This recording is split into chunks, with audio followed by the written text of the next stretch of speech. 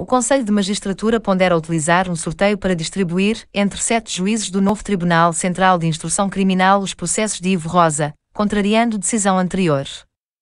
O Conselho Superior de Magistratura, CSM, está a ponderar alterar a distribuição dos processos que estavam sob a alçada do juiz Ivo Rosa, que está em regime de exclusividade no caso BES e no caso Octofarma.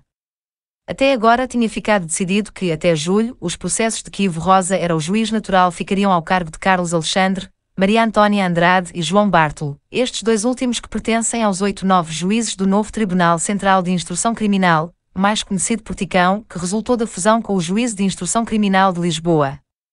Contudo, o Conselho Superior de Magistratura está agora a deliberar se os processos de Ivo Rosa vão ser distribuídos por sorteio, de forma aleatória, pelos sete juízes do novo Ticão.